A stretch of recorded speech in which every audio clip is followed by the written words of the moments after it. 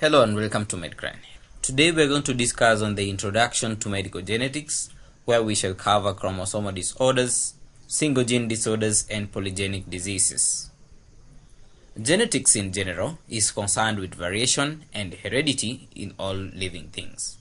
And human genetics is the science of variation and heredity in humans. And when we say medical genetics, we mean a human genetic variation that is of significance in medical practice and research. In this presentation, we shall look at the introduction bit of it, the patterns of single gene inheritance, genetic variations in individuals and populations.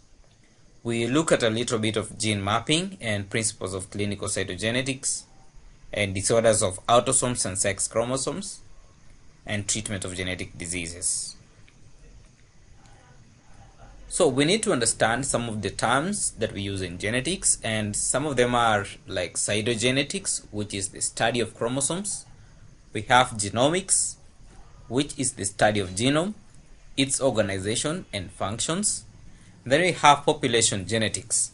Population genetics is a genetic variation in human populations and factors which affect allele frequencies.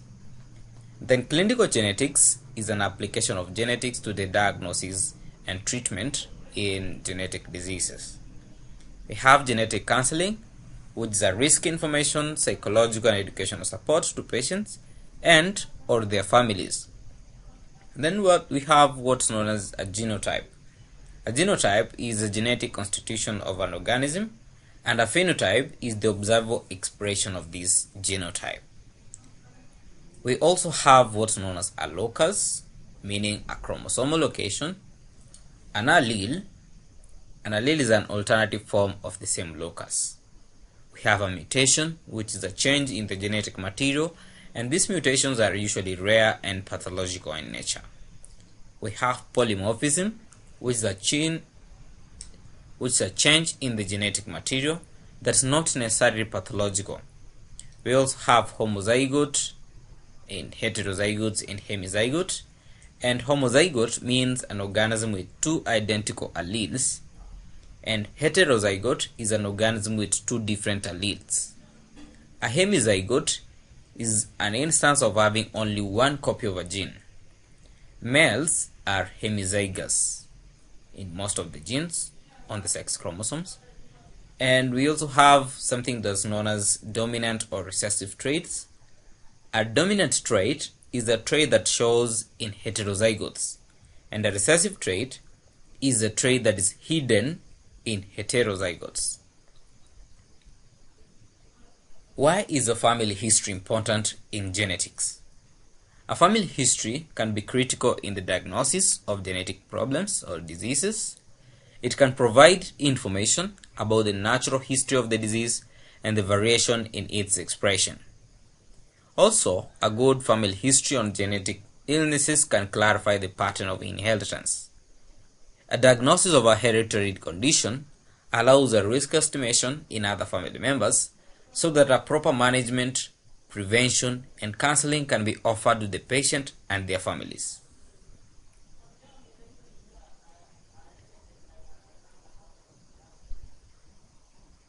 In genetics, one of the commonest questions we ask ourselves is what the roles of genes in human disease. Most diseases or phenotypes result from interaction between the genes and the environment. And some of these diseases are primarily genetically determined, for example, achondroplasia, and other phenotypes or diseases require genetic and environmental factors interaction for them to lead to disease. Mental retardation in persons with phenylketonuria is also genetically enhanced, and some phenotypes resulting primarily from the environment or by chance.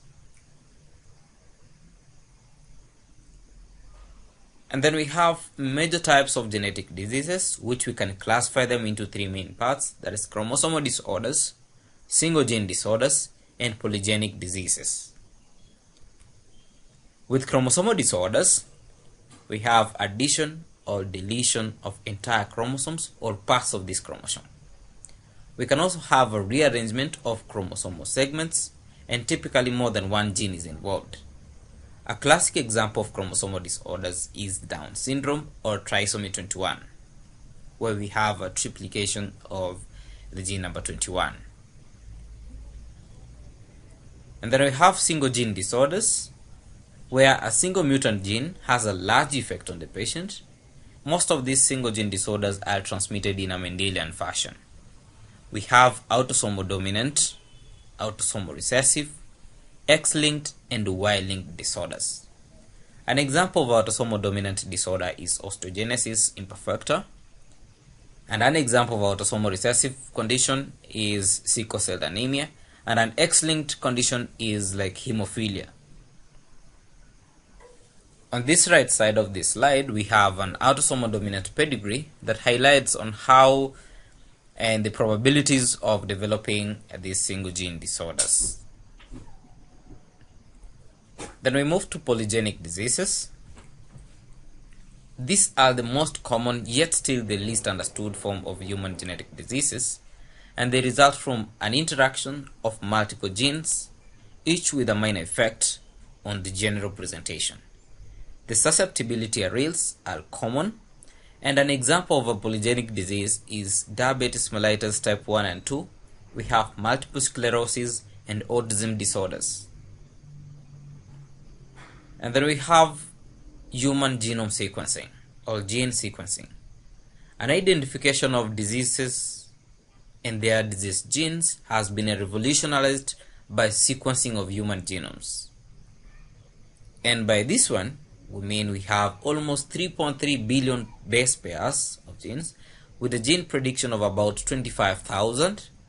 And this can be an underestimation because we have regulatory ribonucleic acids doing this type of correction and this sequence is available in public databases and is freely available and continuously being modified and updated you can also uh, get access to it by going to a website known as www.ensembl.org where you can be able to run a search. For example let's search for FRZB and once we start this one it will give us a match on the database. And in that one we have a breakdown from the gene FRZB we have a gene Ensembl ID then we have the genomic location description and a prediction method with also a transcript being presented downwards. So for example in the FRZB we'll find a, an answer that the FRZB is located on the chromosome number 2 at this particular location. And uh, when we look at its transcript sequence we are able to uh, project it here and also on the two common amino acid substitutions that occur are also identified. Maybe make a try and have a look at this uh, database for your knowledge as we continue with the next presentation in the next slide